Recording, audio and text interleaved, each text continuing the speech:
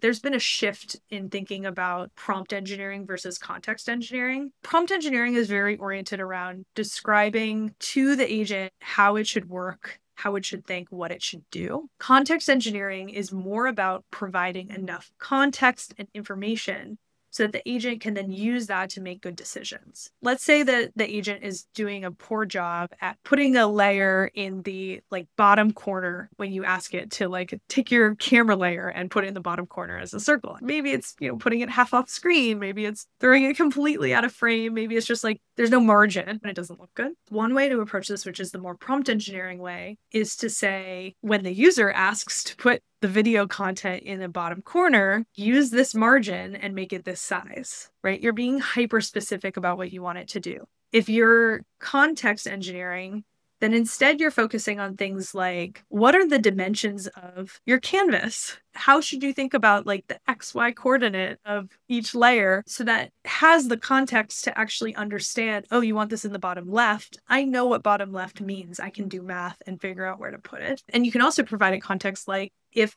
parts of your layer are greater than these boundaries, they won't be visible, right? That seems obvious to us, but if you don't explicitly tell the agent that, it doesn't know.